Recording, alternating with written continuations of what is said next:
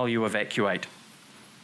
Do not return until an official all clear message is given by Civil Defence. The National Crisis Management Centre has been activated, as the Minister has said, in the Beehive in Wellington. All Civil Defence emergency management groups are active and closely monitoring the situation across the regions in support of their communities. Tsunami sirens in some areas have been used to advise the warning. Regarding the emergency mobile alert, a series of EMAs, emergency mobile alerts, were issued to areas under land threat this morning, asking people to evacuate out of all tsunami zones to high ground or inland. The first alert was sent to the initial areas under the land threat on the east coast of the North Island. The warning was then extended to include the top of the west coast of the North Island. Only those in areas under land threat were sent the emergency mobile alert message. Thank you. That concludes my update. Minister. We're happy to take any questions. Minister, can you let us know if there was any uh, warning that these quakes would be coming? Look, the advice that we received is that the information came in from this morning, but I might turn to Bill Fry, who is uh, from GNS, who has been monitoring uh, the uh, indicias for us.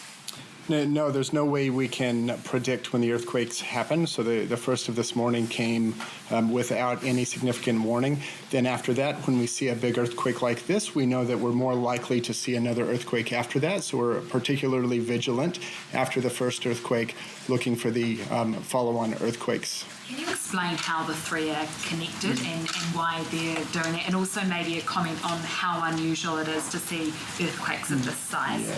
So I, I, can comment on how the um, first and the last are related because we have a, a, pretty good feel for the physics and the science around that. The second middle earthquake, it's a it's a bit more tenuous, so it happened quite far away. Think a thousand kilometers away from the first earthquake. When we when we have a big earthquake like the first one at, at two o'clock this morning, we know in the region that, that's very proximal to that earthquake, the nearby region, we know it's highly likely to have another earthquake. Usually that's not bigger than the first, which is what we've seen today, but it does does happen. It's not unexpected. Um, and then when you get farther and farther away, you have to invoke other mechanisms that are a little less certain, um, certainly in the, the early hours of a response. How long have you been doing this and, and how unusual is, is, this in your experience? I've been in, in New Zealand um, for 13 years responding to large earthquakes and tsunamis. Um, this is the first time we've had this particular um, sequence, but every sequence we get, um, it's usually complicated and we usually learn from it, and that's what I expect we'll do today. Um, could you please clarify um, what the message is for Aucklanders who are near beaches? Yeah. Look, so the messaging is uh, the, all of the messaging is available on the Civil Defence website. There has not been any uh, notification that they need to evacuate, only in those areas where they have been required to do so. That's correct. Auckland is not uh, within the uh, regions that are being asked to evacuate. Uh, Auckland is uh, does have a beach and marine threat, as the minister says, and uh, they need to stay off the beach uh, and out of the water. Did the warning systems work overnight? There didn't seem to be um, tsunami sirens or that kind of thing. Yeah, look, so the information that we've received this morning is that the system has held up, but as you'll be aware, with any event, we always undertake reviews and we're constantly reviewing throughout the course as we're going as well. Uh, the the um, the warning system that went out this morning, because we had that first lot at 2.30, it was very targeted to those areas where there may be a risk to life. So it was to quite smaller groupings. Uh, that obviously over the course of the day has been expanded as we got to that third earthquake. Uh, the advice that we've received is that the warning system is adequate, but I also too make the note that there have all of uh, the media have played a significant role today in informing and keeping people very abreast of what it is that they should be doing and I need to acknowledge the important role you've all played.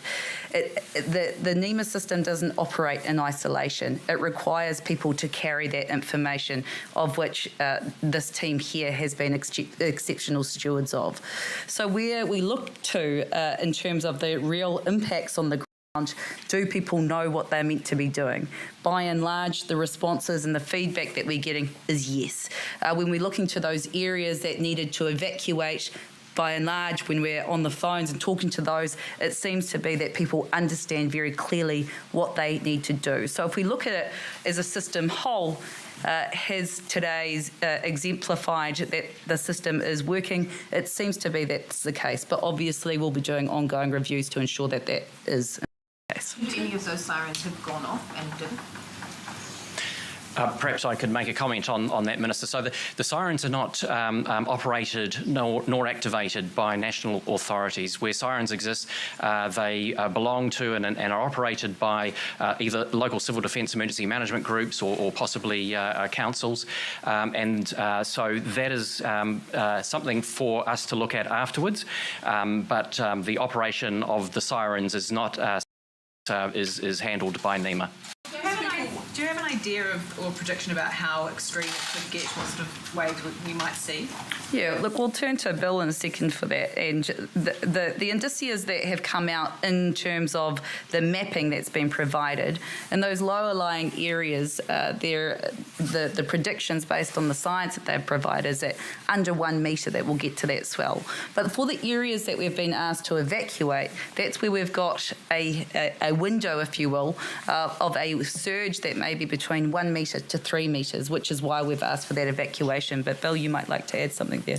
Sure. We, we know from previous experience around the globe that time saves lives. So the quicker we can issue advice, the better prepared we are to make sure that people stay safe. So what we do in a response like this is we use the, the earliest available data to issue a forecast. And that forecast necessarily has a large range of uncertainty. And that's where that one to three meters comes in.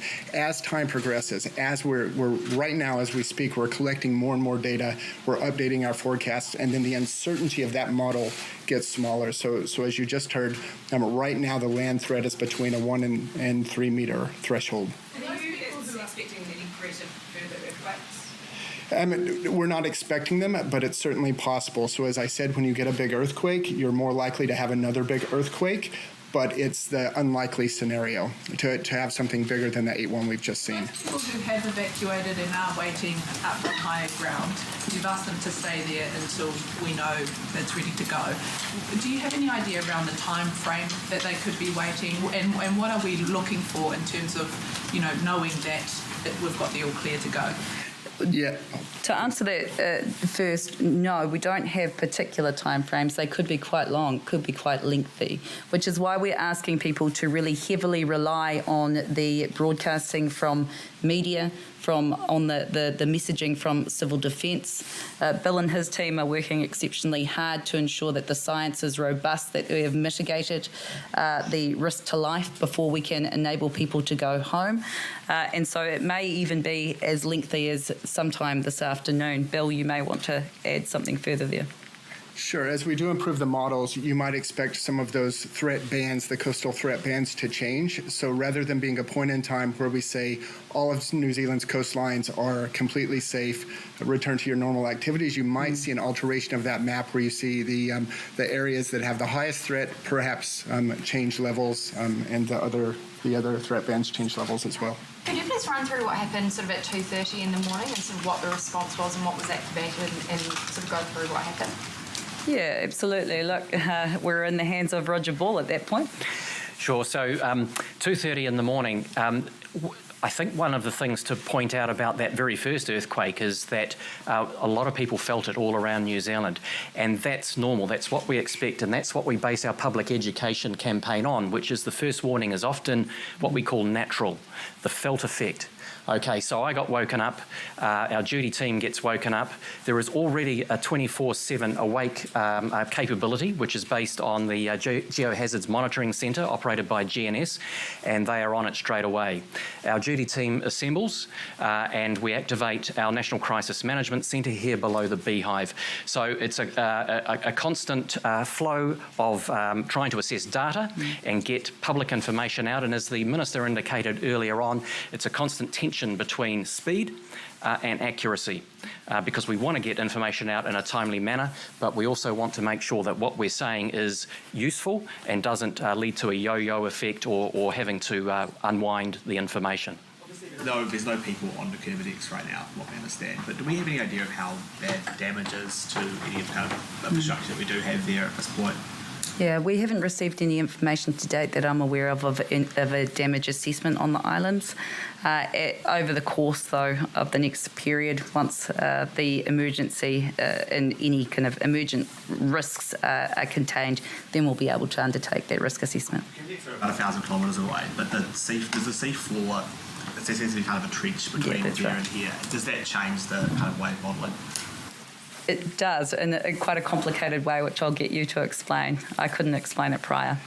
Yeah, it, it sure does. The waves we see hitting New Zealand are a function of the wave that was started where the earthquake was and the path it takes to get to our coastlines. So, in this deep water of the trench, the, the waves move very, very quickly. And that, that means that those array, waves arriving in, say, East Cape are arriving before those in North Cape that take a slower path. So, the, the um, seafloor absolutely um, makes an impact. And then, as waves get into shallower and shallower um, shorelines, then they start to get taller and taller and slower and slower.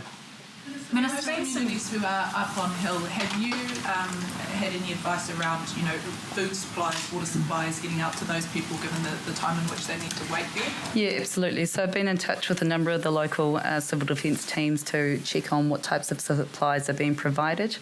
Uh, my understanding is that there are multiple resources that have been stood up to uh, to service the communities, and that's something that we'll be, I guess, checking on throughout the course of the day, depending on the length of time that people are required to be up in those highlands. There have been some reports of the Waitangi River and the Whangarei town basin emptying and the water that does that has remained there has changed colour. Can you confirm that? And if it has done that, what does that mean? You want to make a I, well, I'll make a first comment. Um, we are still gathering that information and impact data as it is coming in, but uh, perhaps Bill might have a general comment. Yeah, I, I haven't heard any of that information, but we did flag um, the area, the coastal zone around Whangarei as one of the places early on that might be subject to some of our biggest waves in New Zealand. Um, so I, it's, um, it's not outside our expectations to see changes in the currents there and changes in the water behavior. Minister, uh, Mr. Fry mentioned uh, time saves lives. This morning, were lives at risk and are lives still at risk? Yeah, look, when those evacuation notices go out, that's when there is uh, it is considered that there is a risk to life. So when you are asked to evacuate, that's at the forefront of our team's notifications to people, uh, and you don't ask people to do that lightly. So you would have heard, for example, earlier this morning, there was a range of comments about some people getting notices and some not. The assessment was done based on that risk to life component. Uh, if you assist, uh, assessed as maybe it being a marine threat only, so where we could see that there was going to be some impact in the waters, but it wouldn't be so significant that it would cause risk to life, you probably didn't get the siren going off. But if you were within that uh, it was a loud penetrating uh, siren that got people up, and then obviously that caused uh, people to move into action. Given that we're in the for middle of a and lockdown. And, and just, just uh, in terms of a message to Kiwis who are feeling really anxious, who are feeling really worried about this, what, what do you say to them? Yeah, I think, look, that's absolutely natural to feel at the moment. Uh, the messaging that's been coming out all day is, of, is very likely to cause high levels of anxiety. What we're asking people is to try and stay calm, touch people that you love, uh, check on the people that you know might be most at risk, um, and to uh, really just listen to the advice that is coming through. There is very good messaging available to people. I know that within the communities that are, have been evacuated, there are hands on deck volunteers through to professionals that are there to assist, to be able to provide uh, that kind of hands on, uh, I guess. Um, guidance uh, that may be required for some. So please do reach out. It's absolutely natural in these times to feel high degrees of anxiety, and there's plenty of people there that are, are, are able to be able to walk alongside you at the moment. Minister, given that Great Barrier is, is part of Auckland and they are under the level three restrictions at the moment, how should they balance it? You mentioned before that the civil defence overrides the COVID restrictions, so they should be listening to the instructions. That's absolutely correct. So that's absolutely correct. In this circumstance, the civil defence messaging and instructions override the COVID ones for now. So how does that work? So should they get to high ground and if they can be two metres apart, they do that, but if No. not, No, no, no. It's uh, for now that is the the civil defence response overrides. So get to the highland. That's the thing that we're asking uh, people to do in these circumstances. That's the priority. Just in terms of um, rural isolated coastal communities, some are taking higher ground, which is still quite close to the coast. Is the advice to stay there or to move as far inland as possible? Yeah, look, no, is the, the advice is to get to highland. So the risk has been assessed for those areas that have been asked to evacuate. Between one to three metres is the expectation that that wave may get to. So if they're at high points, uh, that is sufficient. Also, some whānau are going inland, which is also appropriate as well. Uh, did you want to add anything there? I would I would just add that uh, going up or going inland, both options are valid, um, and uh, it depend. What, what we recommend is um, to check your local um, tsunami evacuation plan arrangements. Um, and if it's possible to do that at this point, um, that is the information that uh, we, we, would like people to follow. Um, but they've done the right thing, they've made themselves safe, and, and that's exactly the reaction that we wanted to, to get. Also, in those in those communities, I will say, Fati, is that you've got like exceptional uh, stewards like Te Araroa, the firefighters, it's everybody's nannies, uncles, koros are in those trucks telling everybody to get up high, putting them where they know that they should be. Uh, you've got people like Ngāti Porou Radio that are on the lines to everybody. Those channels in those particularly rural communities are really interlinked, which is helpful in these times of stress. Uh, when that alarm went at 2.29 this morning, those communities were the first to up and mobilise and they knew exactly what to do. So that's pretty heartening from our perspective. And videos are just coming out of Tokomaru Bay of uh, first wave. Is this something that um, you had planned for? Well, first of all, I would ask that hopefully people aren't getting too close to be able to see that uh, that wave. So please do head to the highlands or head inland. We don't want to see anybody at risk of life. Uh, but look, that is consistent with what we expect to see over the course of the day. Uh, that there will be um, there will be these surges and they will um, move in momentum over time. Bill, you may want to add to that, but that's that's that that'll be the course of today. Gina. Some people who received the cancellation of the warning, but not the actual warning itself. What went wrong there? Um, are you referring to the emergency mobile alert? Okay, so um, we'll have a look afterwards to see um, if there was anything there in the technical transmission uh, that we can improve on, but th there could be a couple of reasons why that would happen. Um, if people are on the fringes of, of uh, reception and, and, and came in and out of that, I don't know. Um, and those messages are punched out through cell phone towers. Sometimes they are on the boundaries of, um, of uh, sorry, on the edges of boundaries as, as we've defined them for evacuation. So there's a couple of things there to look at. Um, we do um, make um, best efforts to get those out to the areas where people need to evacuate, so life safety, not to the areas where people where, where it's uh, um, a, a, lower level of risk. Team, as you can appreciate, sorry, just that there is a lot, there are a lot of moving pieces at the moment, and we will want need to uh, move swiftly. So maybe if there's just the last couple of questions. will you update us again in a in a media conference and also are you planning on heading out to some of those regions today or tomorrow or yeah, well, as you'll know, Jess, it's home, so I want to get home as soon as I can. My bubba's up there, and they're all being evacuated. But look, right now we um uh, the we are going to be in, uh, I guess, shoulder to shoulder around that operational table for the course of the next day until we can see that there's been some real movement in those uh, levels. Uh, when it's uh, appropriate for me to get home, I'll definitely be doing that and meeting up with uh, folks on the ground. In terms of our next media briefing, it will really depend um, on what happens over the course of the day, I'd say.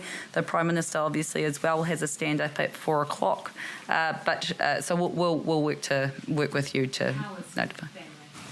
Oh, they're okay. They're um, they're all together, uh, and um, uh, yeah, they're all together, and that's that's kind of the the state of play for a lot of our families in uh, the regions at the moment. It was a bit of a shock uh, trying to work out what to do.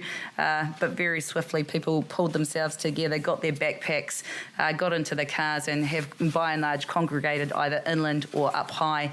And uh, you know, now watching it all unfold. So really grateful that people are following that the, the safety advice. Just ask a couple of questions of um, Mr. Fry. Um, what what activity have you been have you seen so far at the coastline? What should Kiwis look at?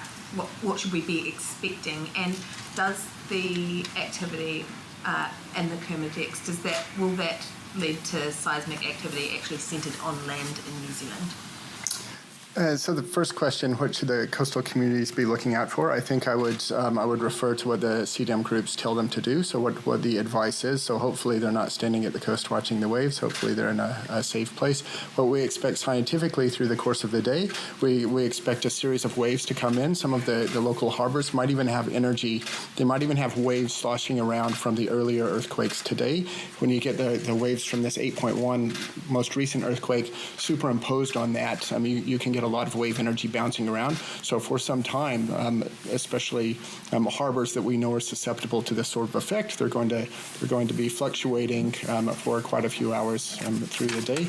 Your second question was the um, likelihood of triggering earthquakes in New Zealand. That's relatively small. So there there is always a, a potential to trigger an earthquake, like we've seen today with these three earthquakes. But the likelihood of that happening is relatively minor compared to our overall hazard in New Zealand. Okay, thank you, I will wrap it up now. Cheers. All right, that is the Minister for Emergency Management, Kiritapu Allan, Roger Ball, who's the National Emergency Management, uh, Management Agency Director, and Bill Fry from GNS wrapping up a press conference from the Beehive Theatrette this morning. So just to reiterate the main points from that press conference uh, this morning, tsunami warnings remain in place for much of our after an 8.1 magnitude earthquake that centred near Rangitahua, the Kermadec Islands, just after 2.30 this morning. We have been advised by the Minister that those warnings are unlikely to be lifted for some time. So if you've moved to higher ground, You've heeded those civil defence warnings and you're waiting at the moment. Be prepared to wait for a few hours. This is what Kiritapu Allan said. Quote, the official all clear will be given when we have the advice that it is safe to do so. Do not leave those areas until you have the all so if you are waiting at high ground at the moment, the advice is to keep on waiting. And we have also uh, just been told that the Marsden Oil Refinery, which is at Marsden Point, that has now been evacuated. That's all we know for now. Our reporters will be working on that and we'll bring you more information when we can. Uh, Kiritapu Allan also calling it an extraordinary morning uh, with what we've been dealing with, a swarm of earthquakes. Uh, she has said people have done the right thing uh, and talking about the timing and the fact that you may be there for a while where uh, that you might get tired and bored, uh, but it's very, very important not to leave. Yeah. Uh, stay where you are. Uh, there was no way to predict these earthquakes, one of the scientists talked about. They uh, Once it had happened, they knew there would be more, but there was no way of predicting that first one. Uh, so no time frames, as Jack said, don't go sightseeing. The first waves that could come through, if at all, could be smaller than what's to come. Mm. We know that from a lot of those high vantage points, things look really at the moment, but that is no reason to leave those points. We're going to get some um, updates later on from the officials in Wellington this afternoon. It's likely that the warnings could be lifted in a staggered process. So, so some regions might have the warnings lifted before others, but of course, the One News team is right over the story. They're going to be bringing you updates throughout the afternoon. There has been a little, little bit of confusion, though, about uh, the, the warnings that have been issued for Auckland. Shortly before that press conference began, many people in the Auckland region received an alert from civil defence defence on their phones. Our reporter Andrew McFarlane is standing by and has the official advice from civil defence officials. Kia ora, Andrew, what can you tell us? Kia ora, Jack. Well, it's important to know the message for Aucklanders is no, you do not need to be evacuating. And this piece of advice that went through the civil defence alert, it's actually advice we've had since early this morning. It's just talking about those strong and unusual currents which will be sighted at Auckland beaches. So really that alert you will have got to your phone if you live in the Auckland region is to just stay away from the water, not to be swimming or not to be going out in a boat either. So that's not an evacuation notice, but more of a watch at this stage. And, and, Andrew, Andrew, sorry to interrupt. Just to be really clear, that advice applies to people on both coasts in the Auckland region, doesn't it? So it's not just people on the east coast; it's people on both the east and the west coasts. Yeah, we're talking the west coast of Auckland, Manukau Harbour as well. So those are those are areas in and around the region. It's not just particular parts. So also, as reiterated there, you will be able to find all the advice on the Civil Defence website. But what's happening there in Auckland? It's not just an Auckland region thing. A lot of beaches in and around New Zealand have got these alerts, just telling people, hey, you probably probably don't need to be going to the water at the moment. You can see a shot there of a pretty empty looking beach. That's Orewa Beach at the moment. And we've got Cheltenham Beach here as well. A few people milling around there, but the advice is don't get in the water, don't be getting in a boat, maybe don't be going fishing. We also had a little bit of extra detail there from the scientists talking about the size of the waves we could be expecting. So in those areas where there's an evacuation notice, those surges could be between one to three metres. But for those uh, areas elsewhere where those watches are sort of in place, those are waves up to about a metre. But also you have to remember, we've been told this quite a few times now, those first waves that could arrive aren't necessarily the strongest ones. And these aren't just like a typical wave at the beach, it's a surge, so it's almost a wall of water that comes in. So don't take any chances and stay out of the water. Kia ora, Andrew. Thank you so much. That is One News reporter Andrew McFarlane. He will bring us all the very latest information from authorities for people in the Auckland region just as soon as it comes to hand. I was also going to mention Jack and I were sitting next to each other when those alerts came through. He got one on his phone, I didn't on mine. Uh, so just also a good reminder that if you think everybody's getting these alerts, maybe people aren't. Uh, so do try and get in touch with uh, people if you can to let them know that Auckland now has a stay away from the coastline uh, warning out because I do know it's alert level three at the moment. Uh, a lot of kids are at home uh, and a lot of families are spending a lot of time cycling or being down near the coast to fill in the day. So do let people know if you got it, not everyone did. Uh, so do make sure that message keeps getting passed along. We're going to head to, to Kaitaia now, where evacuations happened a little earlier, and pupils of Kaitaia Abundant Life School are among those being moved. And we got one of their teachers, Opi Assam, he, uh, Assam, sorry, he's on the phone. Uh, kia ora. Um, how are things going?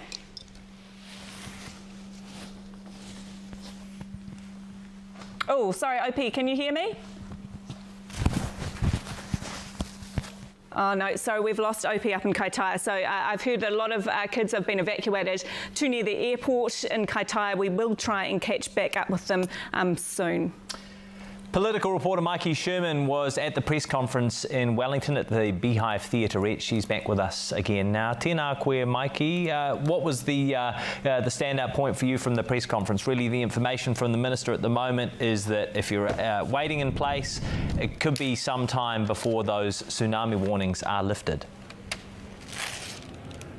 Kia ora, Jack. Well, yes, that's right. I think that is the big takeaway uh, for those people who are in those areas of concern in regards to safety, those people who are up on higher ground. They would have been waiting to hear just how long perhaps they may be sitting there waiting it out, and it does seem as though they will be there at least perhaps until this afternoon. Of course, as you mentioned earlier, though, uh, the Minister there did talk about perhaps a staggered approach, uh, and that when the, the risk level uh, in some areas does decline, uh, perhaps they can return to their homes uh, a bit earlier than other areas. So it is just a waiting game. Uh, I was interested, though, to hear from the Minister around what sort of uh, food and water supply uh, some of these communities can expect in terms of that support for them as they wait out uh, this time. And of course, she said that she has already been in contact with those civil defence groups on the ground in those communities, ensuring that those support services and supplies are stood up for them. So hopefully that was a reassuring reassuring message uh, for all of those families, women, men, children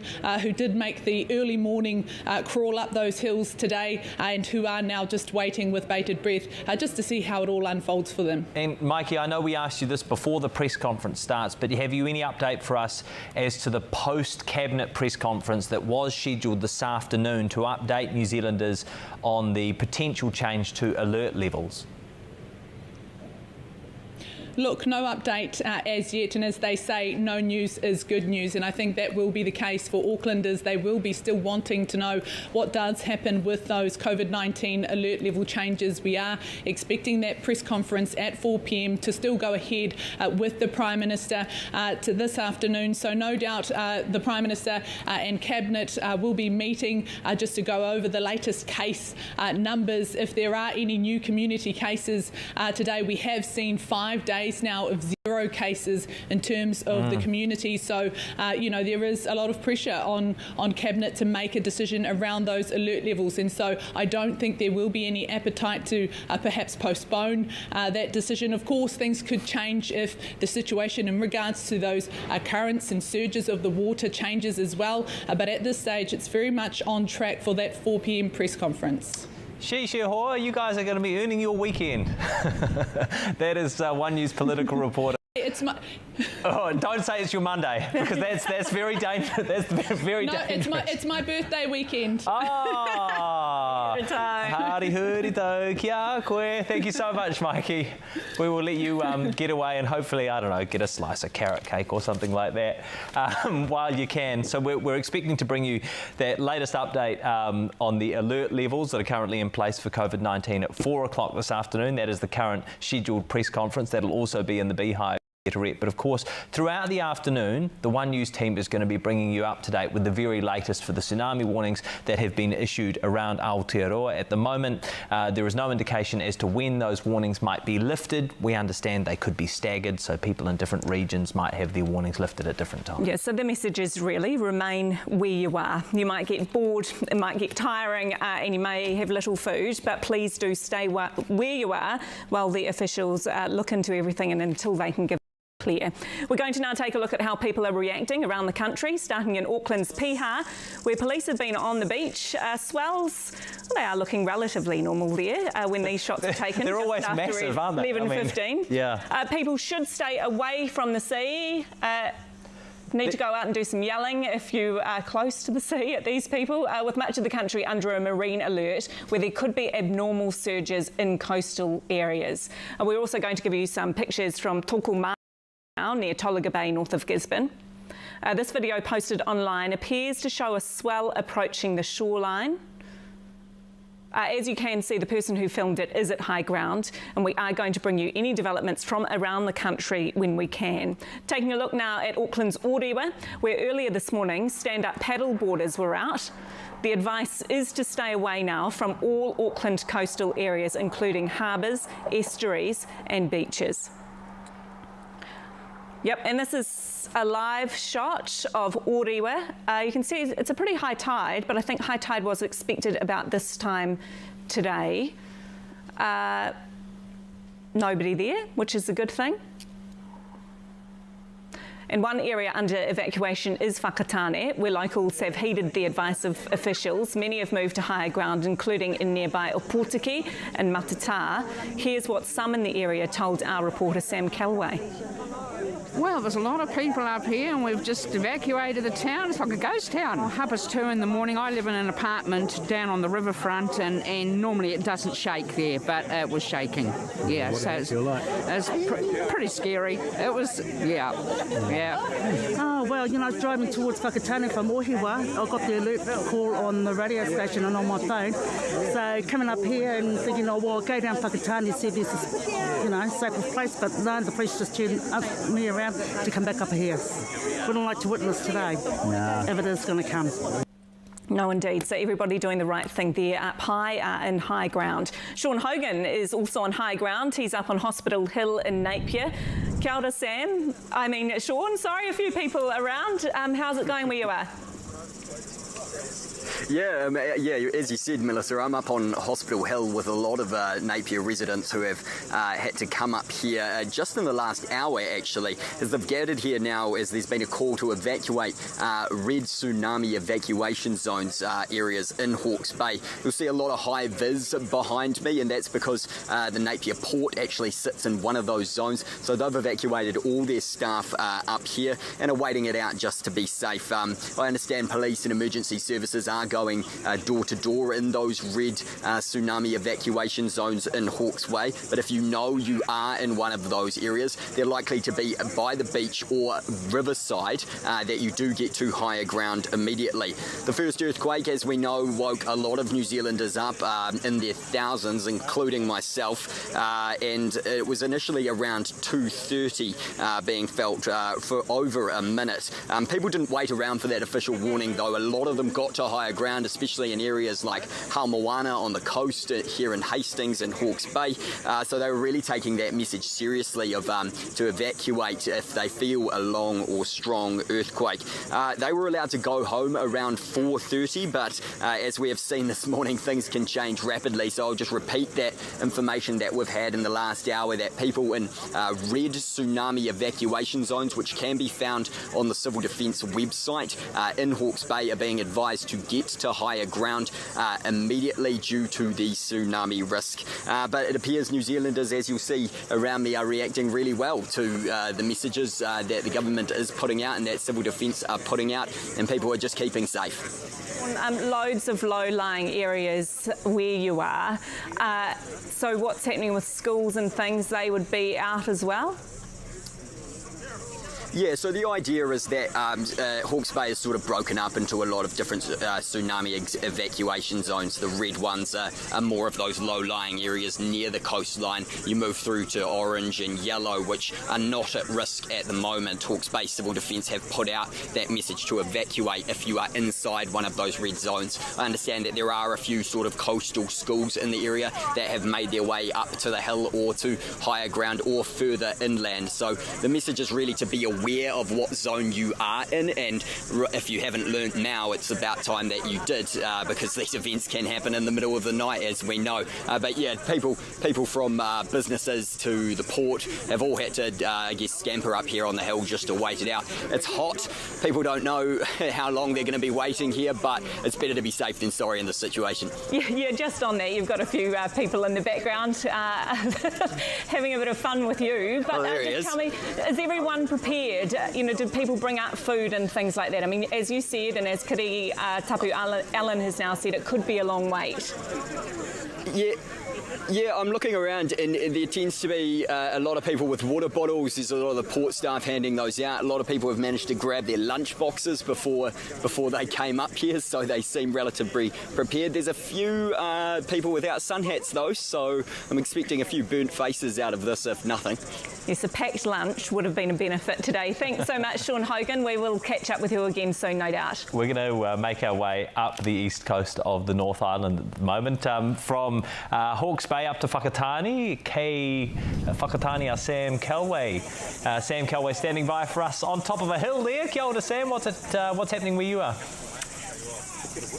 Oh, kia ora, Jack. Well, it's actually quite a uh, peaceful mood up here at the moment. There's probably about 20 to 30 people uh, just waiting and listening on their phones, checking in to find out what is happening. As we heard through that press conference earlier, that, you know, people are told just to sit tight. It is incredibly hot and hot. And in fact, as I made my way down to the car, I had to find some, some new batteries. Everyone was glued to their phone. They were listening on the radio and they were also watching to see what that press conference uh, was happening. Uh, you might see there's also some school kids in the background who are probably getting a little bit bored. I hope you didn't see the, the bright flashes that went past me.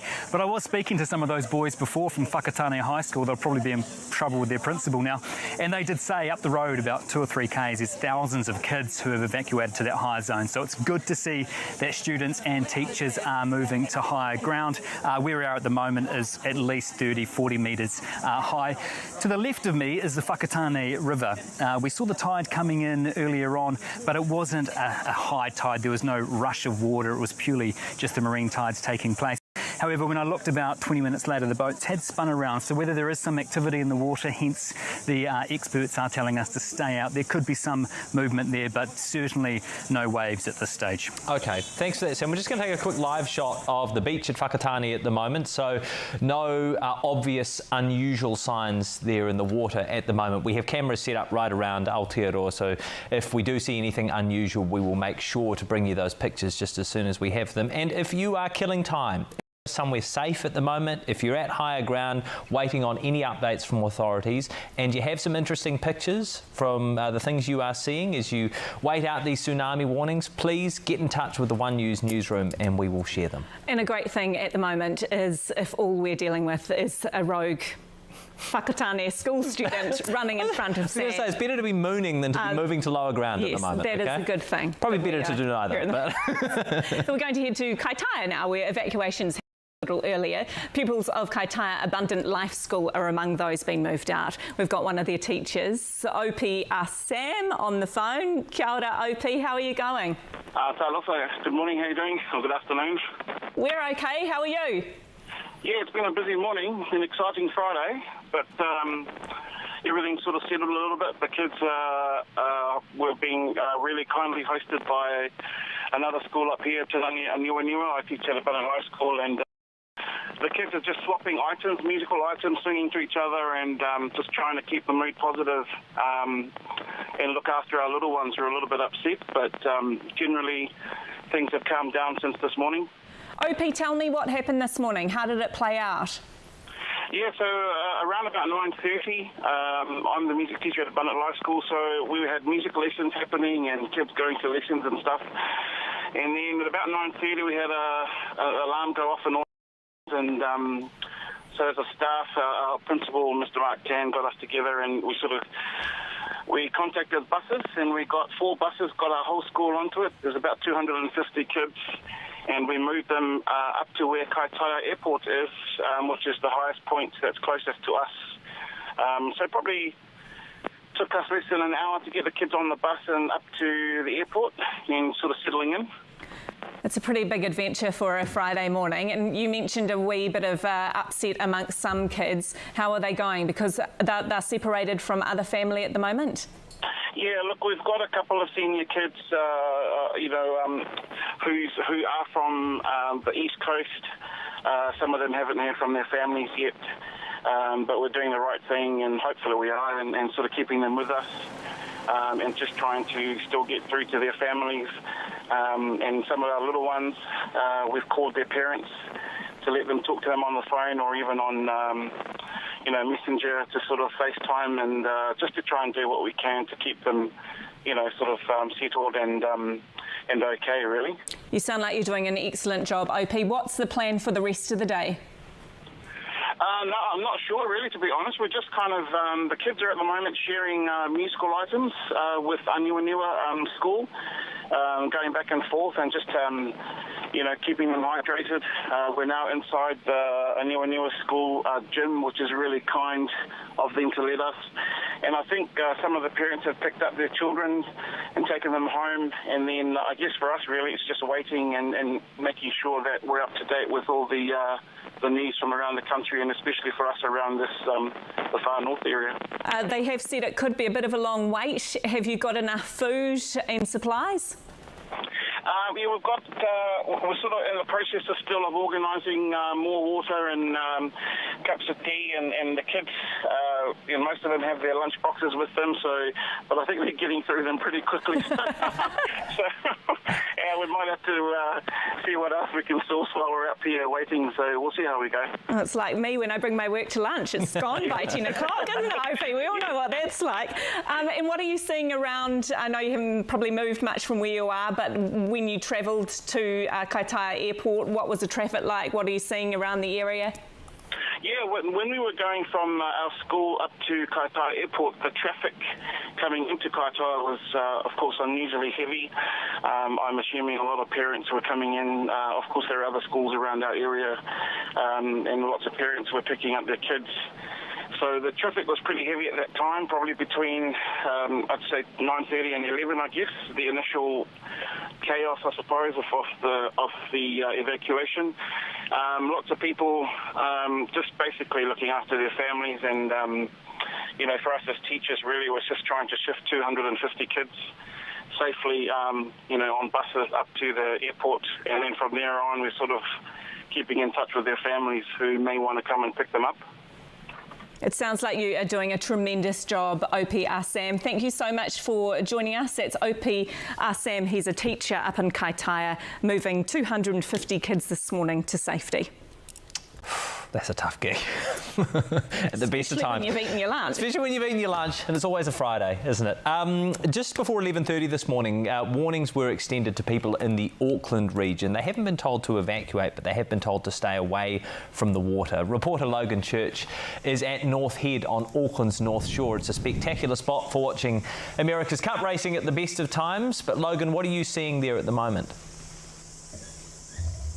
Kia ora. Well, there are certainly quite a few people here watching out the eastern coastline, um, all eyes out to the sea. Um, actually, down in the beaches this morning, um, it was pretty much business as um, usual. People were out and about taking advantage of the beautiful seaside we have uh, here in Auckland. However, of course, at 10.35 this morning, that text notification came out from Civil Defence um, informing that there was a tsunami threat. Now, while people are not being told to evacuate at this stage, they are being told to stay away from those beaches and those seaside areas around Auckland. Um, we um, did a bit of a drive-by before and uh, the beaches are relatively empty, but there were still certainly quite a few people um, out and about. We've seen some paddle boarders and some dog walkers perhaps haven't got the message just as of yet, um, but we do understand that the police are, um, are out and about people to get away from the beaches um, at, at, this stage. Um, all eyes, I guess, peeled um, uh, to, to, people's phones and to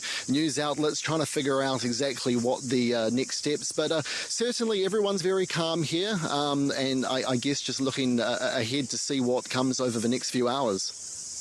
The good news is that most people seem to have moved off the beaches. Are you seeing any activity on the water itself? Because where you're located is a perfect vantage point for assessing activity at the port and out in the Hauraki Gulf. Well, it's certainly quite quiet. As I said before, we can see um, some paddleboarders, or they might have just moved off before, but there were certainly some people um, out and about before. But the uh, the bays and the seas do seem, um, at least at this stage, quite quiet. People seem to be heeding that advice to stay away from the beaches um, and stay away from the from the coastlines. Um, of course, as the day progresses, people will be keeping a very close eye on those civil defence um, civil defence alerts and notifications to sort of see what the situation, um, I guess, gets to as the day goes on. All right. Thank you so much, Logan. I know you're going to be stationed there for us throughout the afternoon. These are live pictures from Auckland Sky Tower looking northeast to Rangitoto at the moment. It looks like um, Rangitoto is getting a good drenching right at this minute. It's probably important to point out, in case you're not a geography nerd, that people on both the east and the west coast in the Auckland regions have been told to stay away from the water. So that's the, Piha? Yep, that's Piha, that's Bethells, that's Muriwai, as well as the Hauraki Gulf. Orewa. Exactly, yeah. yeah. Uh, my thing would be that Jack and I were both sitting here. Jack got the um, civil defence emergency on his phone, the alert, and I didn't. So not everybody is, so do make sure you check in with people. If you think there's a chance that they could be out walking or biking with the kids, uh, make sure you get on your phone tree activated mm. and let some people know. Uh, we did have a press conference about an hour ago. Here are the main points from that with Kiritapu Allen, the Emergency Management Minister. People who have moved to high ground in affected coastal areas should remain, should remain where you are until you're given official all clear. Officials are warning people to stay off the beaches and out of the water at the moment across large parts of Aotearoa. Make sure out the Civil Defence website for details. That's Civil Defence with a C, civildefence.govt.nz. Severe sea surges are expected for several hours. Of today's three earthquakes, the first and the third are definitely related, according to scientists, and they may be followed by further earthquakes. And Auckland hasn't been asked to evacuate, but there is a marine and beach warning. That means stay out of the water the beaches today. Do not go sightseeing. Here is a list of all places and the estimated times of arrival for any waves. Parts of the west coast of the North Island from Cape Reinga to Ahipara and the east coast from Cape Reinga to Whangarei. From Matata to Tolaga Bay, including Whakatane and Opotiki and uh, Great Barrier better. Island. Other areas can expect strong and unusual surges near the shore. Waves may not have hit yet, but the reminder they still could come in the next few hours. Yeah, those times are the estimates that we received from officials. However, uh, there have been some reports of unusual activity in some of the coastal regions around New Zealand. In Whangarei, we've heard reports of some unusual coastal and tidal movements. At the moment, uh, scientists uh, at NEMA in the Beehive say they're assessing that data, but they're not going to lift warnings the, until they can be absolutely sure that everyone is safe. If you missed this morning's press conference, this this is some of what Emergency Management Minister Kiritapu Allen had to say. Well, kia ora tatau. Uh, uh, first I just want to acknowledge that this has been an extraordinary morning for many New Zealanders up and down the country. Uh, from 2.30 this morning, essentially, some people have been up worried about their homes, their families. I've had the, uh, throughout the course of this morning, uh, I've been briefed by my colleagues here. I have Roger Ball, who is the National Director from the National Emergency Management Agency, and GNS science expert Bill Fry with here with me as well, who will be able to elaborate on some of the causes for what's happened this morning, as well as the way that the uh, approach to this event has been managed. But first, I do want to acknowledge the people of uh, Te Tairāwhiti, the East Coast, those up in Pewhairangi in the Bay of Islands, those where uh, that have had to pick up their homes, pivot and evacuate and have done so exceptionally well. The messaging was uh, when it is long or strong, get gone this morning, whether that was at 2.30 or whether that was later on throughout the course of the morning, we saw New Zealanders literally adhere to that advice. They felt the long or strong earthquakes and they knew to grab their bag and head into the highlands. Yes, it sounds like everybody is doing the right thing this morning. A little bit of news that came in half an hour or so ago. The Marsden Point oil refinery has been evacuated in response to the tsunami alert. It's unclear how many staff were moved from the location, but it's understood fewer people were on site due to maintenance. Residents have also been advised to get to higher ground in the area. We're going to head to Helen Castles. Uh, she is our Northland reporter. She spent the morning with evacuees in Doubtless Bay in Northland. Uh, kia ora, Helen. How are you going? Going? Yeah, good morning. Well, you might be able to hear that siren in the background. It's been going all morning. Uh, surges have been spotted all up and down the Northland coastline. I'm uh, here at Taipa, up on the hill, where we witnessed a massive surge before, where the sand was literally ripped away. Um, it looks as though it's high tide, but that's a couple of hours away at least. So, how are people handling it up there? I know you're with a crowd of people from earlier today. Yeah, look, um, all the schools um, in the low-lying areas have been evacuated, um, and that includes some schools that aren't even at, in a risky spot, and that's simply because a lot of the students there uh, go or live in coastal communities. Um, but the communities are definitely pulling together. There's lots of people just parked up on the hillside, and those that live nearby are bringing them water and food, um, and and yeah, everyone's really just helping one another out. How many people are up where you are?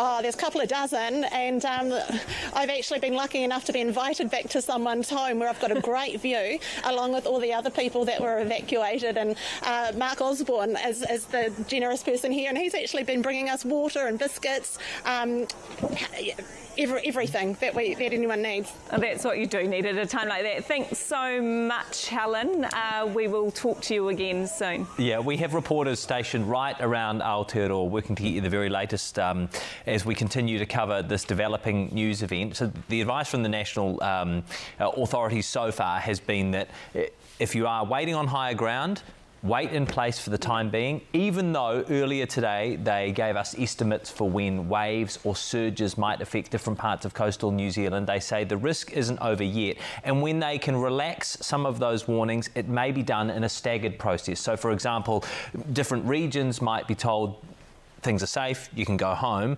before other regions are. We just need to wait on the official advice from the people in Wellington. At the moment, though, uh, the advice from the National Emergency Management Agency is to move to higher ground if you haven't done so already, because the first wave or the first surge to come through today might not be the strongest. Here's what National Operations Manager Roger Ball had to say. Uh, as I'm sure you are aware, the National Emergency Management Agency issued a tsunami warning this morning following a magnitude 8.1 earthquake northeast of New Zealand near the Kermadec Islands around 9am. The areas under land and marine threat, as the Minister has specified, are the following.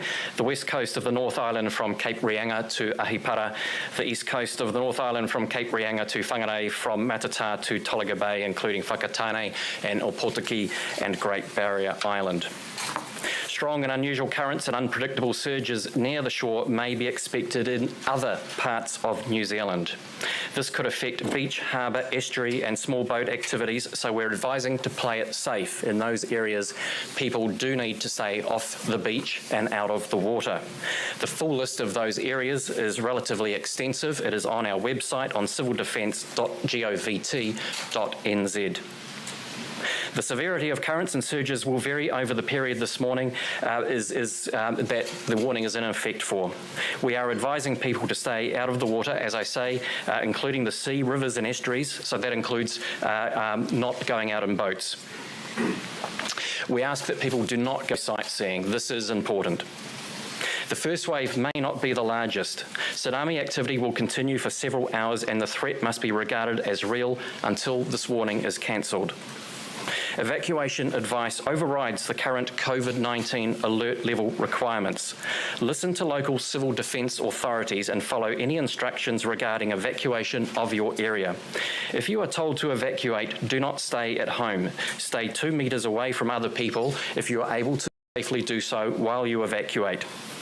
And that was the latest about an hour ago, but we have just been told there has been another large quake in Rangitahua, that's the Kermadec Islands. Our reporter Katie Bradford has more from our Auckland newsroom. Kia ora, Katie.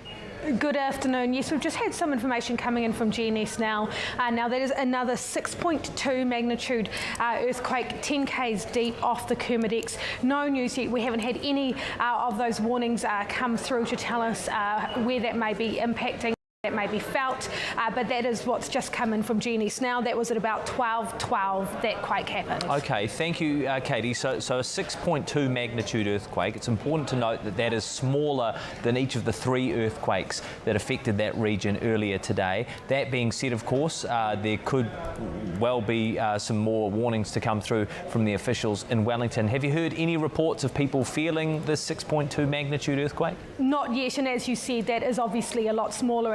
Uh, possibly good news that it isn't another one of those 8.1 uh, quakes coming in at this stage, but the fact that we are they're still coming in will be causing concern. Um, we've obviously seen throughout the morning some of those uh, high, high tide levels, waves. We've got videos coming in, as you've, if you've been watching, been seeing, uh, of, of the waves and the high water around the country. Uh, so as more quakes happen, that will be creating more concern.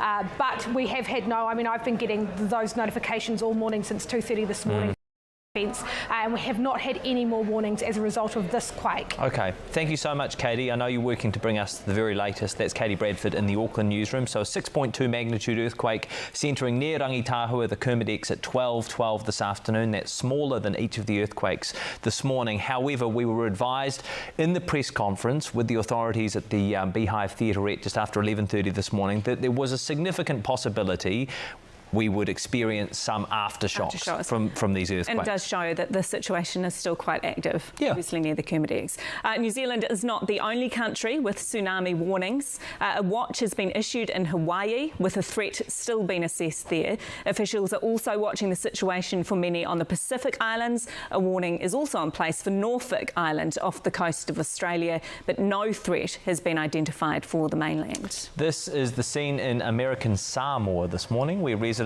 were told to get to higher ground immediately. You can see them moving pretty quickly there. Of course, people all throughout the Pacific are used to getting these warnings from authorities when we experience yeah, and earthquakes. places like Samoa has seen some pretty deadly and devastating uh, tsunamis before. And it was surreal that's how a resident of Tokomaru Bay, north of Gisborne, has described the sight of a large wave rolling towards the east coast beach. Claudia Marker had evacuated to higher ground where she captured this video. So, so I think you, you can... can... just see the waves surging in from the top of the heads there uh, and coming in uh, through into an inlet. I'm not familiar with that area, so I'm not sure if that's a common sight, but the fact that Claudia has sent this into us would suggest it's not. Mm. Uh, so as we've been told, there could be these sea surges, unusual activity in the sea, which is why most of Aotearoa New Zealand is at mm. the moment under these alerts to stay away from coastal areas. Even if the wave doesn't look big, it could still tip you or a small child over, yeah. uh, and that is the danger as well as anything bigger that could come through. Claudia's done everything right there. She's at higher ground, so she's heeded the warnings of the authorities, and she sent us the video so we can uh, see exactly what uh, the concerns are about this morning. If you are in a part of New Zealand this morning, morning where you've been told to evacuate, you're waiting at higher ground, you're wondering what to do, make sure um, if you have some pictures, you send them through to our um, One News team and we will be sure to share them. If you see any unusual activity in coastal regions, we'd be interested yes, to do let those us know. Um, as we know from Kiritapu Allen, uh, we could uh, be here a while. You could be there a while, wherever you are. Uh, the official all clear won't be given until the advice is that it is safe to do so, uh, and that could be some time. Yeah. Uh, she acknowledged that you could become bored or tired. Uh, we do understand that, uh, but do the right thing for the moment and stay at higher ground and don't go sightseeing.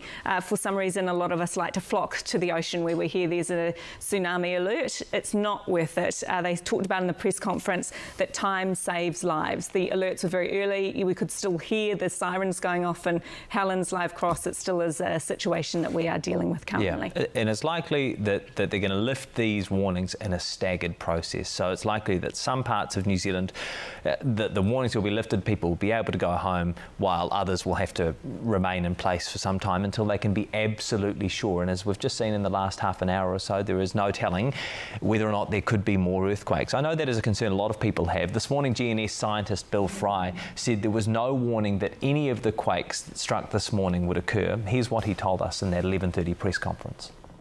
No, no, there's no way we can predict when the earthquakes happen. So the, the first of this morning came um, without any significant warning. Then after that, when we see a big earthquake like this, we know that we're more likely to see another earthquake after that. So we're particularly vigilant after the first earthquake, looking for the um, follow-on earthquakes. Can you explain how the three are connected mm. and, and, why they're doing it? And also maybe a comment on how unusual it is to see earthquakes mm. of this size. Yeah.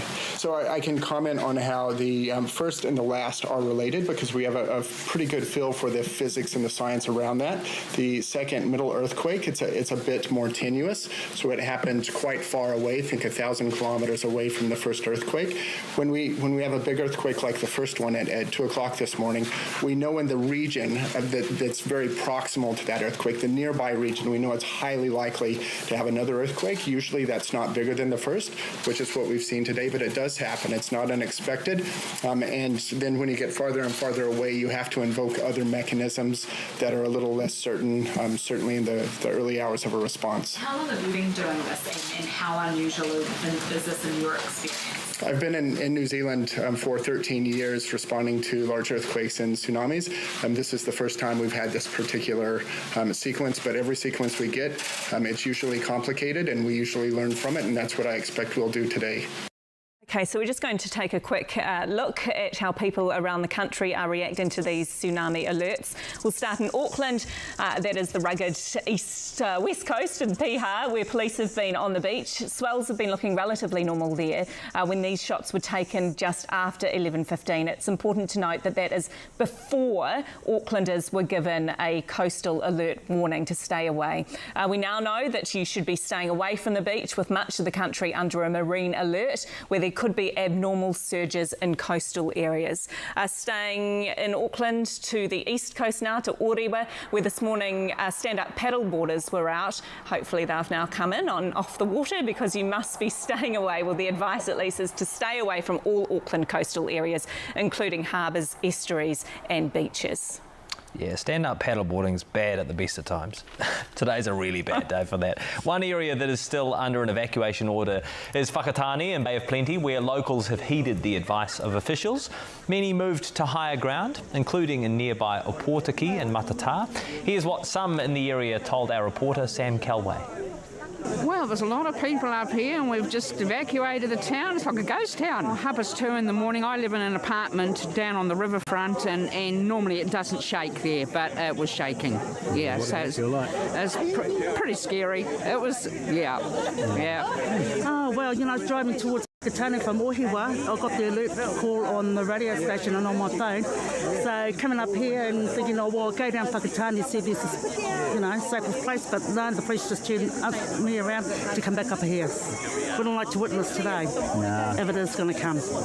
So those are people gathered in Bay of Plenty this morning. We have fresh pictures from a huge surge of water in Tutukaka, which is near Whangarei in Northland.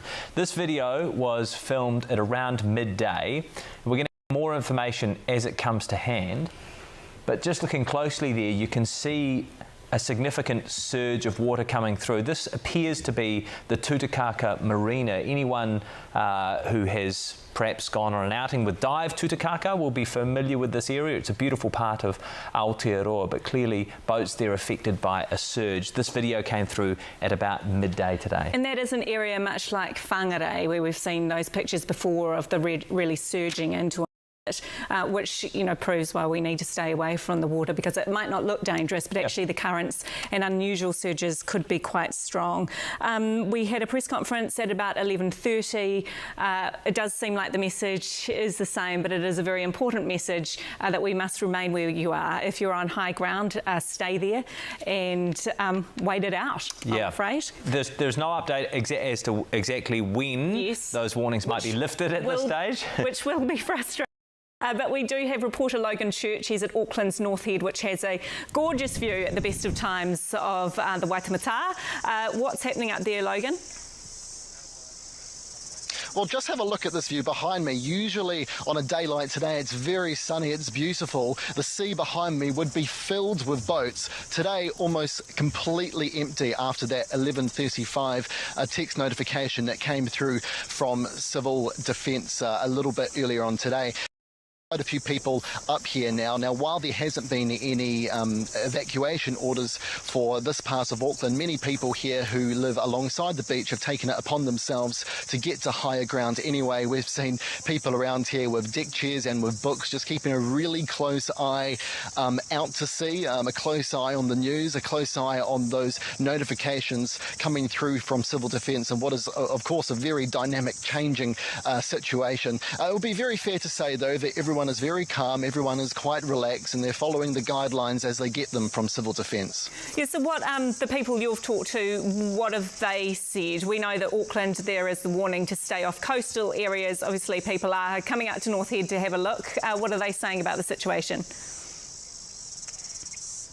Well, there's certainly concerns. People up here are, I guess, acting in an abundance of um, caution. Some have been up here uh, for some time with a, I, guess, a nervous eye um, on the horizon. Obviously, nothing to see um, here yet. Um, it, it's also worth noting that people here are, are, also keeping in mind that Auckland is still uh, technically dealing with a COVID outbreak, so people here still trying to stay a bit apart from each other. But as I said earlier, people have brought up uh, deck chairs. There's a couple just sitting up the hill with their family. There are quite a few spin dogs running around, around. So can you spin uh, the camera yes, around, people... Logan? Sorry, can you spin the camera around and give us a look at Yeah. what you're seeing? Absolutely. Well, we see there's people up here on picnic tables, there's some deck chairs a bit up the hill. Uh, people are certainly relaxed, um, but as I said earlier, really, I guess, um, acting in an abundance of, of caution. They don't want to be caught out. There are, of course, many low-lying coastal areas and suburbs uh, around this part of Auckland. Now, as I, as I said before, there's been no evacuation orders um, other than um, the uh, text notification earlier today at 11.35 warning people to get away from the uh, from the beaches. Um, but people here are, being careful. Now, if we actually look at the beach behind me, there was a few people um, earlier, uh, just in the last few minutes, down there on the beach. We can see a couple uh, walking up now. Now, the police have been out and about today, telling people around these areas since that 11:35 notification came out to get away from the beach. Um, we've seen they met some of those people who have instead come up here to keep an eye on what's going on. Uh, but certainly a lot quieter out here than it would usually be at this time of day, um, as people really, I guess, uh, stay tuned to what's happening. Thanks so much, Logan. We'll catch up with you again soon.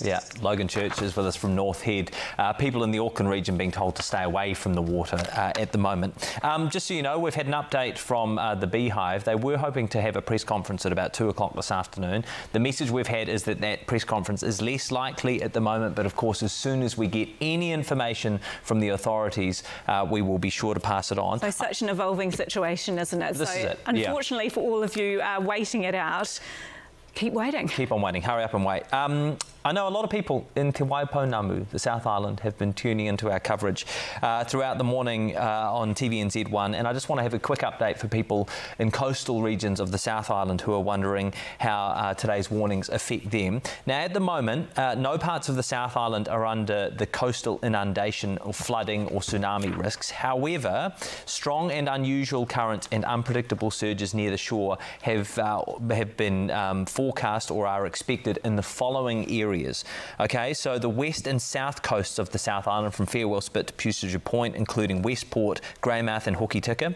The top of the South Island from Farewell Spit to Port Underwood, including Nelson, Picton and the Marlborough Sounds. The east and south coasts of the South Island from the Waipara River to the, to the Rakaia River, including uh, Christchurch and Banks Peninsula from the Taieri River through to Puysegur Point, including Invercargill and Stewart Island. So basically the warnings there for people in the South Island, Te Waipounamu and Stewart Island uh, are to just be aware uh, that there could be some unusual coastal activities, there could be some unusual surges um, and currents over the next few hours. But if we have any more information for people in those areas, we will be sure to bring them to you. Uh, that also includes the Chatham Islands, so they should be watching out for that too. Mm. Meanwhile, authorities are praising the public's response after a tsunami warning was issued earlier this morning for a 7.1 magnitude earthquake off the east coast.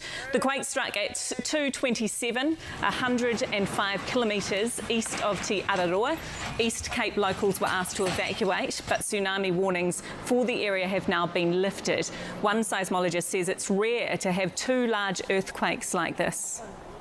Of course, we've had multiple earthquakes. Just after 12 o'clock, a 6.2 magnitude earthquake was recorded again near the Kermadec Islands. GNS seismologist John Ristau says it's fortunate that none of those earthquakes so far has centred near New Zealand's mainland. Um, one thing about this earthquake that really helped, as far as that's concerned, is that it was offshore, about 100 kilometers offshore. Um, yes, if, if you had put this earthquake like um, um directly beneath New Zealand, you know, at, at that depth, there probably would have been uh, quite a bit of damage from it. Uh, but being offshore, that uh, um, you know that that means that even the closest people are at least 100 kilometers or so from the epicenter. Yeah, well, um, one thing again with with, with uh, earthquakes like this being uh, being um, a deeper earthquake and the type of earthquake it was, they they tend not to produce um, really long-lived, strong aftershock sequences, like a, like a Canterbury type aftershock sequence. Um, we have had quite a few. We've had um, uh, at least four magnitude five or larger, and uh, a large number of uh, between uh, magnitudes four and five. I think uh, at the moment we've got about 70 aftershocks or so that we've located. Um, there will also be a lot of smaller aftershocks that we can't locate just being the fact that it's an offshore earthquake. So we can really only locate everything about magnitude three, 3.5 and larger. Um, but yeah, I wouldn't expect the aftershocks, yeah, to continue for for for weeks or anything. Yeah, it's probably for a few days we'll get aftershocks. Yeah, yeah. Well, to have uh, to, to to have them come, you know, like like one right after the other like that. Yeah, that uh, that is a bit unusual. I mean, earthquakes uh, like the 7.4 near Island, earthquakes of that size around there are not unusual in and in and of themselves. You know, they uh, they happen, you know, every uh, every few years, maybe even every couple of years. But yes, to have them sort of bang bang like that, that doesn't happen very often. That is scientist John Ristau. Yeah, um, Kiri Tapu, Tapu Allan called it this morning an extraordinary morning have heard some extraordinary stories from many of you. A teacher in Kaitaia, they organised four buses, got 250 children uh, out of uh, Kirikiri rather, and are now having music lessons with another school. Uh, you've rung us if you've been watching the water change to a different colour in uh, Whangarei, I think yep, that was. Uh, we've well. heard from you up on uh, Whakatane, up on the lookout there. If you are uh, listening or if you're watching and you want to send us some footage, uh, do do that.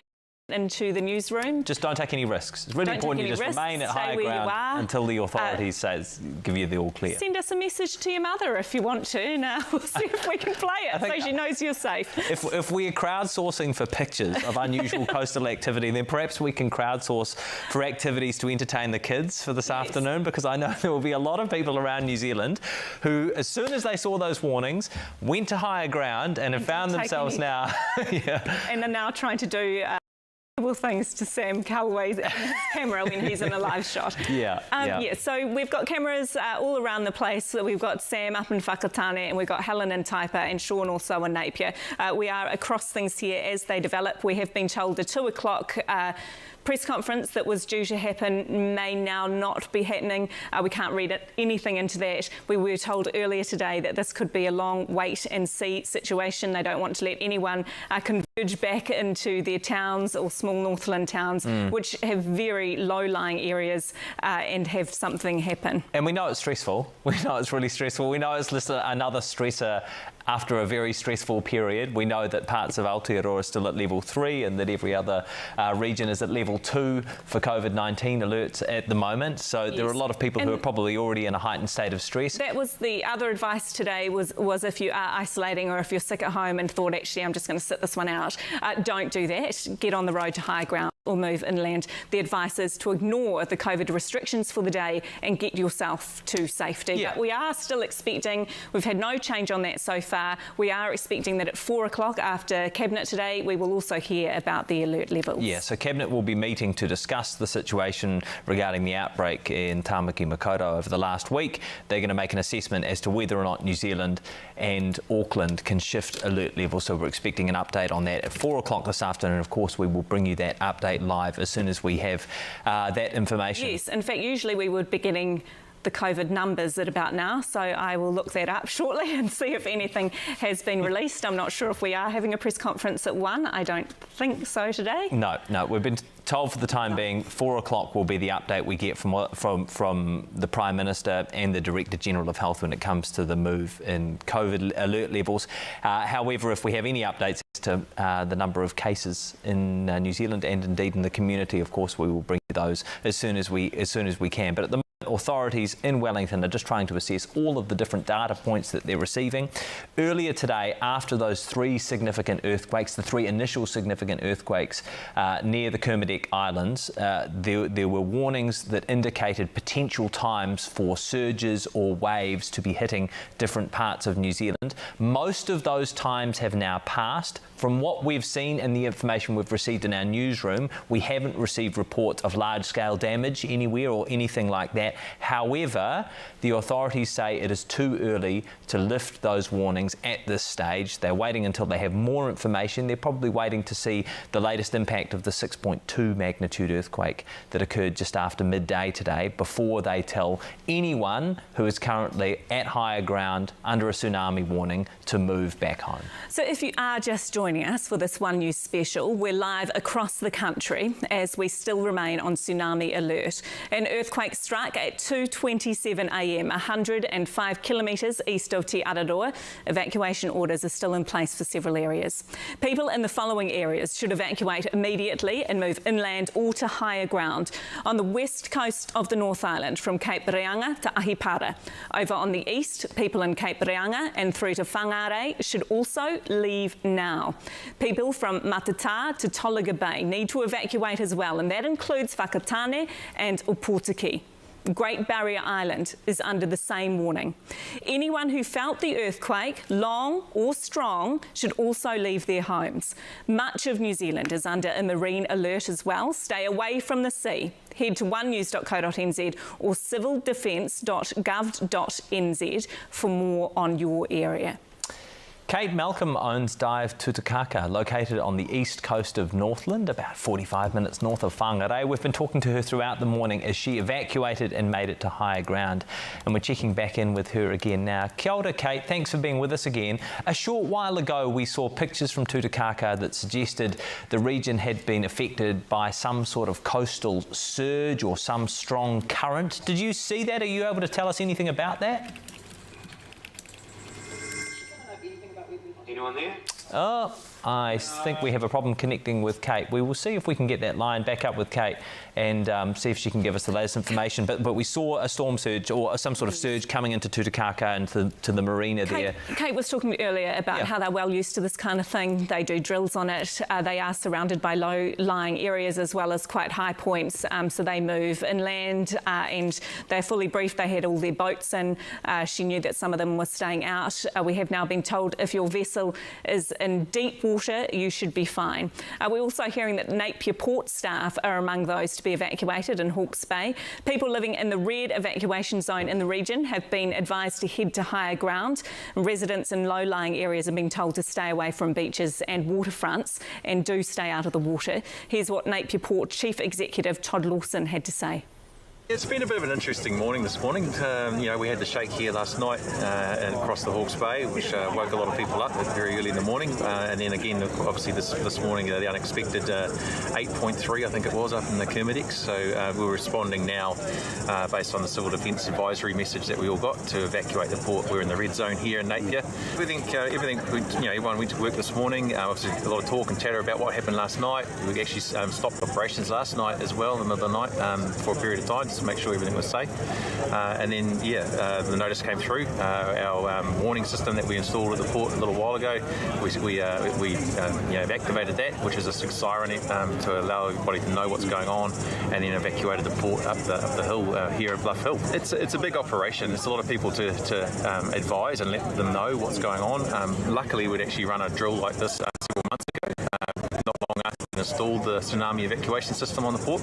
So today's gone incredibly smoothly. People knew what to do. They, they you know, calmly exited the port, and as you can see around me, people are sort of comfortably mingling and, and uh, relaxing in the sun, uh, waiting for the all clear to actually be able to go back down into the port itself. So um, it's, it's worked really, really well. We're really pleased with how it's worked. That is Todd Lawson, who is the CEO of the Napier Port. We're going to go back now to Kate Malcolm, who owns Dive Tutukaka, just north of Whangarei. Kia Kate. Um, Kia. We saw some pictures uh, that suggested uh, Tutukaka had been affected by some sort of coastal surge over the last hour or so. Are you able to tell us anything about that? Yes, it's not something that we didn't expect. It's something that we've seen a number of times before with different tsunamis that we've had, the, the Japanese, a Chilean, and a Samoan um, tsunami. And there's something about the harbour entrance and the marina entrance that just bottlenecks um, the surge as it comes in. It's quite a wide, narrow entrance and then a wide harbour, and then it bottlenecks again at the marina entrance. So we knew that um, there was going to be some surge there. So it's kind of comforting that it's doing exactly as it should do. It's coming in um, on, we've been timing the swells coming in. The surge is about four to six minutes.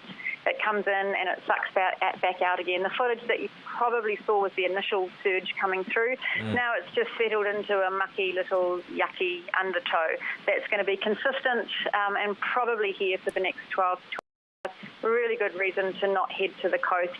That undertow and that nasty little um, surge underneath can trip you up. Yeah, the water looks quite muddy around the marina area in Tutukaka there. So, so, so you say that the initial surge came in and then it died off a bit and then it surged again. Is that how it works from your experience? Yes, it is. It settles into a bit of a pattern. It comes in and then it, it goes back out again. And then you'll see that it kind of mixes a little bit, the swirly eddies, either at the um, entrance into halfway out to Phillip Island, the, the, um, the bottom gets stirred up quite a lot, and also inside the marina. So it kind of refracts back against itself, um, and the swirly top, the swirly current that you see on the top is quite different to the undertow that's going to be lurking underneath as well. So it is quite consistent. It will come in and it will come out in a, in a, in a pretty regular manner. Yeah, it's like a set of lungs, isn't it? In and yeah, out, in and breathing. out. The ocean is breathing. Um, from what we've seen fr- from the pictures of that surge in Tutukaka, it looks at this stage like there hasn't been any damage to the vessels that are moored there at the moment. Is that what you're seeing?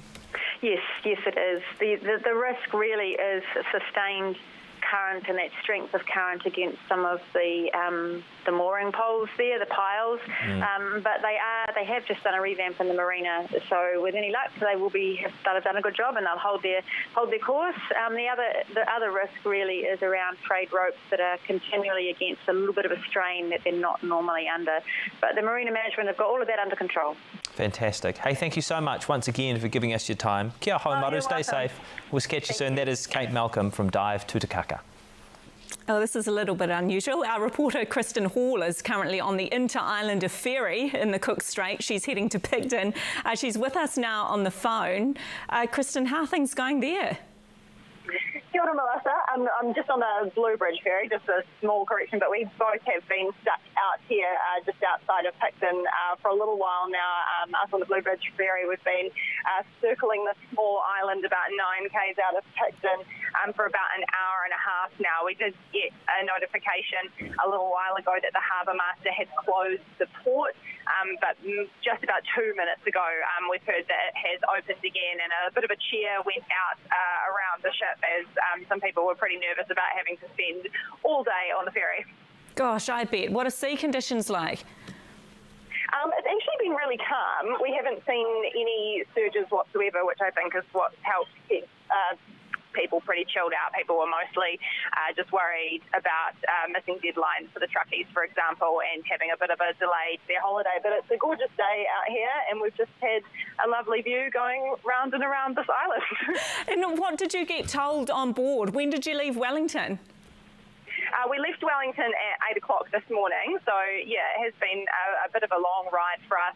And yeah, we did get an update kind of late morning saying that obviously this tsunami um, was going to affect us and that they were going to just keep updating us. So we did get quite a few regular updates, um, which was good. The Marlborough Civil Defence has put out a warning. I think that um, they're expecting uh, surges of about a metre. So I think it was just a precautionary thing. And how many of you are on the ferry? Oh, I'm not sure. There's, there's definitely a few hundred, of kind of holiday makers and truckers and things like that. Uh, definitely there was a bit of a queue that started forming uh, when we heard when we weren't uh, when we heard that they weren't sure when we were going to be able to dock, but everyone is looking pretty relaxed now and ready to get into Picton.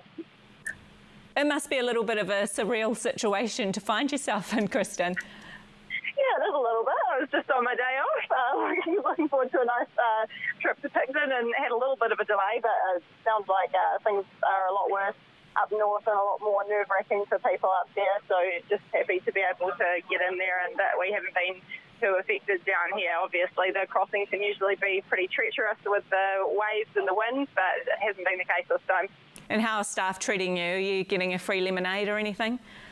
Uh, uh, there has been free uh, tea and coffee, yes, uh, for the people that have been waiting for a while. Staff have been lovely, everyone seeming nice and relaxed. So, yeah, we are all good here on the ferry. Tino Pai, Kristen Hall, uh, circling an island outside of Picton's. and enjoying her day off. Auckland's ferry services have been suspended, just so you know, until at least 2 o'clock this afternoon. Uh, that is because, of course, a warning is in place for the coastal regions around Auckland. You don't have to evacuate if you're in the Auckland region, but you are advised to stay away from the water. Britomart, tra uh, Britomart train station has also been closed due to the possibility of flooding. Until 3 p.m., trains on the Eastern Line will run as far as Panmure with services to the west, south and Onehunga ending at Newmarket. Emily Lane is a tsunami scientist with NIWA and joins us now from Ōtautahi Christchurch. Kia ora, Emily. Well, what an extraordinary day it has been. Thank you so much for being with us to share your expertise. Can you just begin by giving us your assessment as to the likelihood we will see significant waves or surges this afternoon? Kia ora. Um, I think what we're going to see is a continuation of what we've seen so far. Um, it's unlikely to get any bigger than what we've seen so far. There's a very small chance of that, but it's unlikely. So it's probably just going to keep on keeping on for um, a few more hours yet and, and slowly sort of peter off. Um, when do you think then that the risk will be lifted?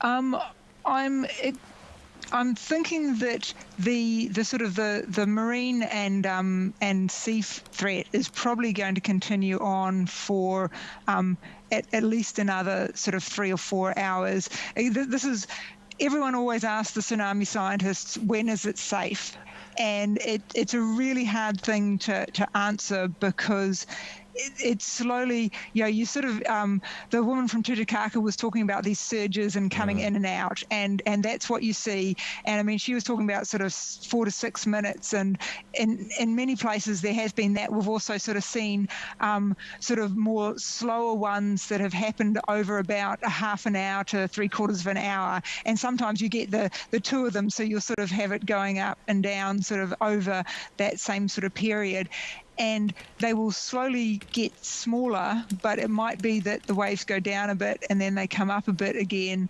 And so this is why we, we have to be cautious and we ask people to be patient. And Emily, from the information you're getting at the moment, what regions have been most affected by surges or waves so far?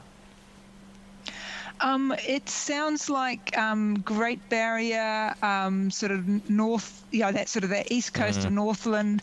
Um, I saw a picture from Tokomaru Bay, um, sort of near Gisborne, um, of you know the the surge coming in, which again was sort of quite impressive. So I mean, I think it's that that sort of east coast of the the North Island, which was the place the places that we were expecting. Yeah, can you talk us through your expectations uh, after a seismic event of this size and nature, centred at the Kermadec, about a thousand kilometres from New Zealand? What, under normal circumstances, would you expect to see? Um, I mean, th- th- this is pretty much it. I mean, w- you know, what what happens is that you know a large part of the seafloor um, around the Kermadec got lifted up. You know, sort of uh, you know 100 kilometres by 50 kilometres or sort of more. And so that lifts the water up above it. And for a tsunami, the whole Pacific Ocean is like a paddly pool. So, you know, you can imagine, you know, you throw a rock into a paddly pool and you see waves. When you look at simulations of what happens with tsunami waves, it looks like that. And so they radiate away from the Kermadecs um, and they get um, refracted around. So um, the, the speed of the wave is dependent on the, the depth of the water, and it actually causes them to bend around and come back towards New Zealand because normally they'd sort of, you know, you get the, the tsunami, the earthquake happens here and they most of them push out like that. Mm. But these bits, parts of the wave, some of that energy refracts around and sort of hits New Zealand. And so that's what we're seeing um, is these waves that have sort of curved around and come back to the coast. We're almost exactly an hour now since a 6.2 magnitude earthquake was recorded similar place near the Kermadec Islands. Is that likely to cause more coastal surges? Um, it's unlikely to, to it, no, it's, it's unlikely to do anything that we're going to notice because given mm. that we're already having these waves um, and a, a 6.5 is considerably smaller than uh, an 8, it's sort of a logarithmic scale. So a 6 is actually 100 times smaller than an, an 8 in terms of the size. And so, yeah, that's, that's just going to be lost in the noise. And is there a direct relationship between the size of an earthquake and the size of a tsunami or surge? Um, it, there's a strong relationship. It's not it's not completely direct, and I mean this is one of the reasons why we are more cautious. You know, we, we are more likely to say, you know, these areas you know might need to evacuate and it might turn out that there isn't a big wave because we know big picture how big it is mm. but the details of exactly how that that um, seafloor moves can be really important in terms of where you actually get the big waves right and so as tsunami scientists we need to like look at well what what different things might have occurred that caused this and what might that mean in terms of what you see on the land. Right. And so yeah we sort of look at these and we look at all of the the sort of the worst case that it could cause. And you know we, we've got to take all of those and say well any of these might happen because we don't have enough information yet to say this is the one that it is Emily, I know some of your colleagues around the world refer to data that is recorded by remote uh, tsunami assessors. So you have uh, essentially buoys sitting out in the middle of the ocean that are able to record ocean currents and movements. How do you get your information when it comes to tidal movements around New Zealand? Yep. So, so um, it sounds like what you're referring to is what we call dart buoys. Um, and so, yeah. So what they do is they actually measure the the pressure um, at the bottom of the ocean because the pressure is directly related to the the height of the wave. Mm. And so the the problem is you need information about you know as I said we know a tsunami is coming. We don't know how big it is, um, and a lot of this is happening in the the middle of the Pacific Ocean. So we've got these dart buoys there, and we can look at how big the tsunami is when it comes over them. And the interesting thing is, in the deep ocean, a tsunami might be quite small. It only might be 10 or 20 centimetres. Um, but the thing is, it's 10 or 20 centimetres over 100 kilometres. And then as you get towards the shore, you can imagine you've got 10 centimetres over 100 kilometres, but it gets squeezed up, and so suddenly that that height goes up, and we call yeah. that shoaling. Right. So yeah, that that's why you know. But but yeah, you, we use those dart buoys. So that is one of the information um, that we get. Also, um, tsunami gauges um, on the coast. Okay, so, so can you just talk, talk me through how that works? And excuse my naivety, sorry, Emily. Do, do you have buoys that are located, because we know the Kermadec Trench is an area where we have experienced um, seismic activity in the past. Do you have buoys located between the Kermadec Trench and the New Zealand mainland, or are you basically using your models to try and work out exactly how tsunamis or storm surges will affect the mainland, and then comparing that with your data as the, those surges uh, reach the New Zealand shore? Yep. So, so we're actually um, really lucky in that um, just sort of in the last um, year or so, New Zealand has um, put out its own set of tsunami so we've got a lot more information. You know, we used to rely on some American ones, and then basically they, um, I mean, you know, it, it's in the middle of the ocean. They broke down, and no one was going to replace them. Um, so we we um, got money through the New Zealand government, and so um, the um, NEMA put out buoys out there, and they've only been out there for um, you know a year at most. Um, but that, so that's extra information that we've got, and so what we do is we have models based on the earthquake, right. and we run them. As we start getting information at those dart buoys, we compare the information, you know, what our model says or, or our, our, suite of models, because as I said, we're looking at sort of different scenarios. We compare them with the dart buoys and we try and sort of look at, well, which of those um, scenarios fits best with what we're actually seeing really happening. And the same with, you know, we have these um, coastal um, tsunami gauges, so North mm-hmm. Cape, East Cape, um, in a range of places. And so as we get information in there, we can compare the models with those.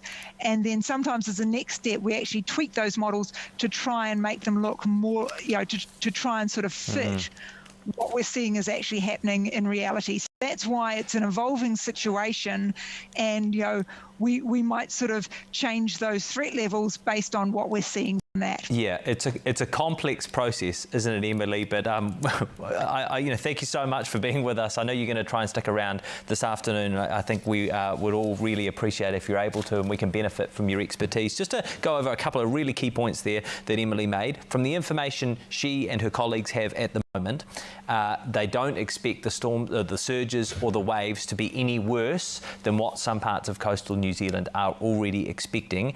However, they are likely to continue for some time. So they're unlikely to get any bigger, but they are likely to continue for some time, which means we're going to have to wait until we can lift those official alert levels. So everything seems like it's tracking quite well at the, the moment. And the other thing that looks like is tracking pretty well is that there has just been the announcement of COVID cases today. Uh, there are no new cases of COVID 19 in the community. We're also just looking at some pictures of the moment of a live chopper shot over Auckland, taking a look at the water there. All still looks pretty still as far as I can tell. I'm no marine expert, uh, but things uh, look pretty nice out there and pretty still. Remember, if you are watching and you are in Auckland, please, the advice is to stay away from all coastal areas.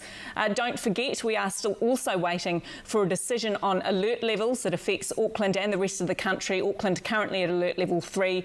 We should hear about that at four o'clock, uh, but anything could happen. today.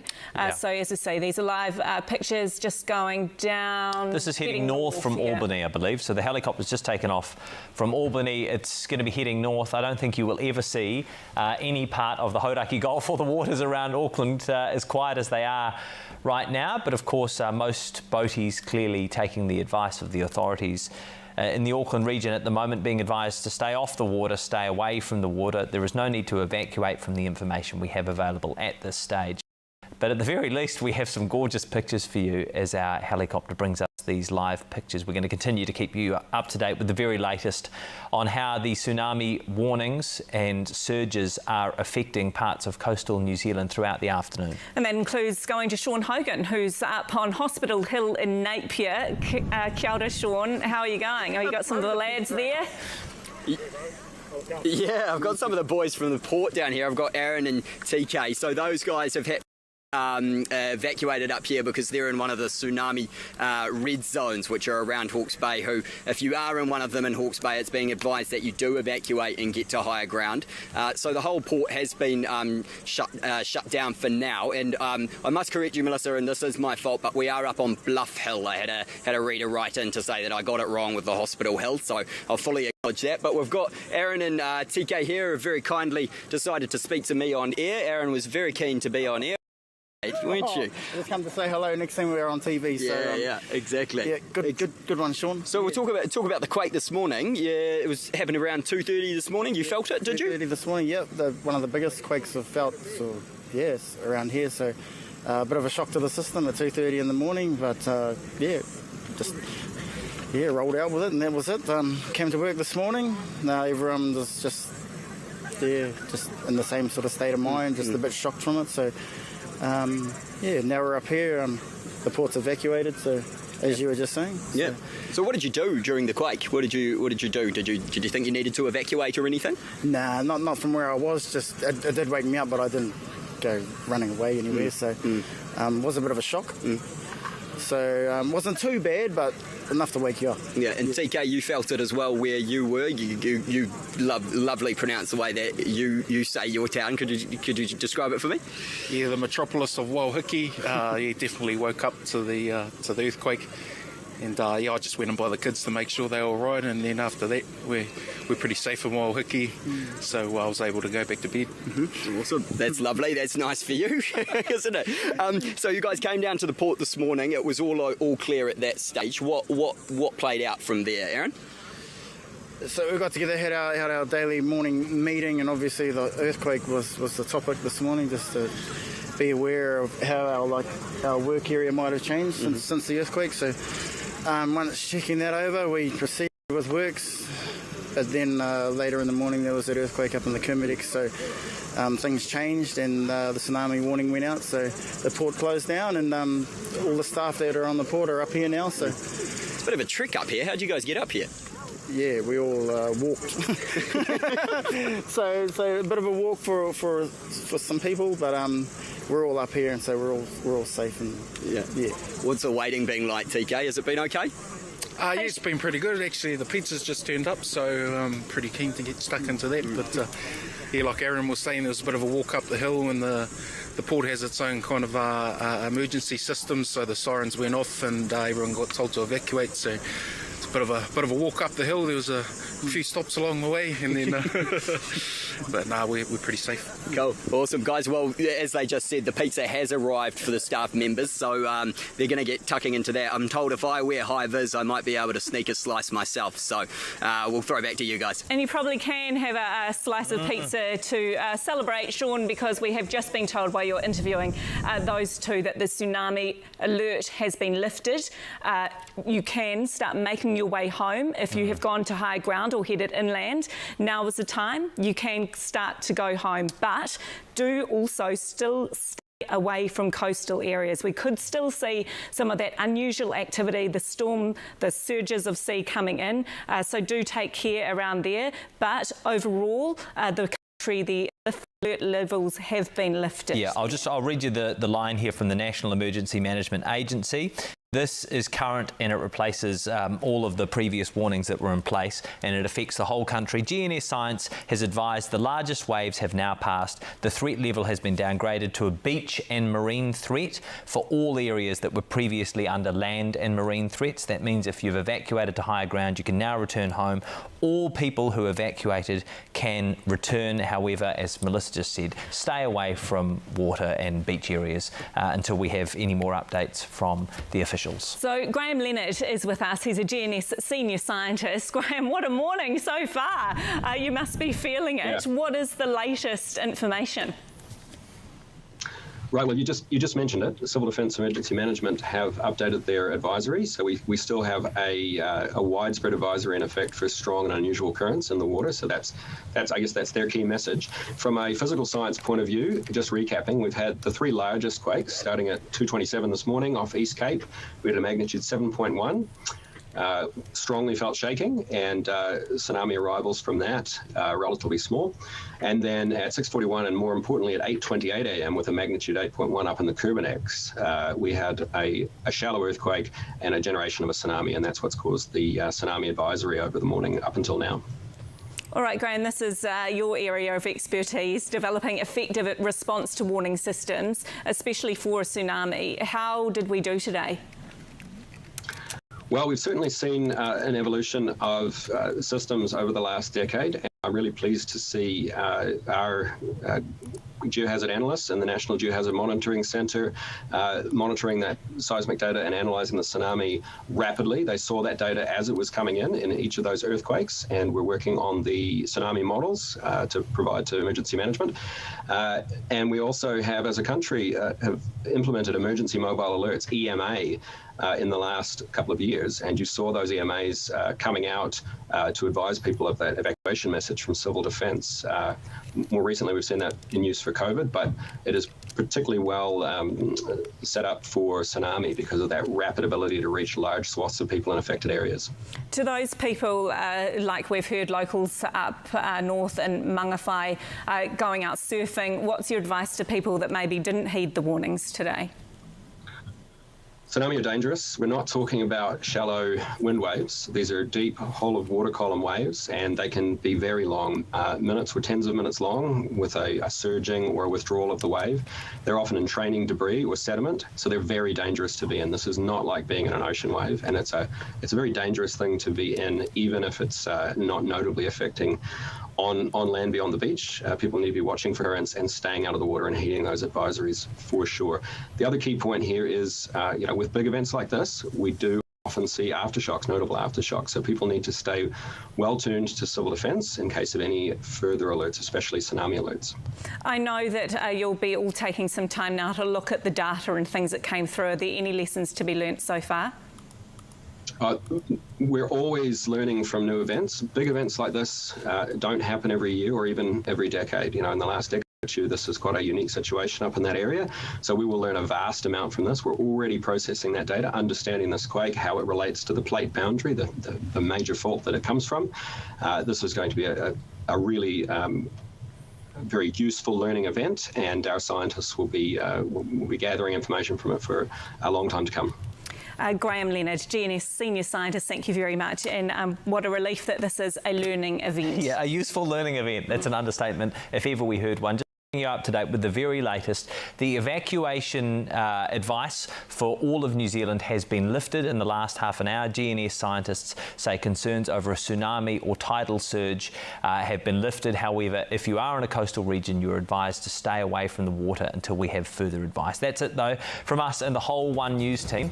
I think we have all earned a weekend. Until then, kia haumaru, stay safe, and well done to those of you who had to evacuate doing the right thing this morning following official There'll be a press conference at 4 pm when the Prime Minister is expected to announce any changes to the COVID 19 alert levels. Until then, you can head to onenews.co.nz. From us, ka. We'll see you soon.